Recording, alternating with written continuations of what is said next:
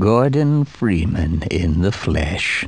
Or rather, in the hazard suit, I took the liberty of relieving you of your weapons. Most of them were government property. As for the suit, I think you've earned it.